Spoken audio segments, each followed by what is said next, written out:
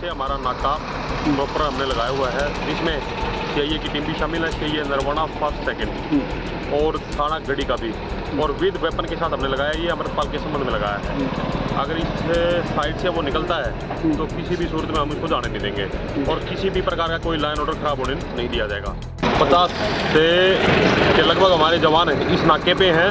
और border area के जितना भी हमारा कंसर्न है पंजाब के साथ है उसमें हमारी आर और एस मोबाइल एंड अदर गाड़ियाँ हमारी डिप्लॉयड की गई हैं।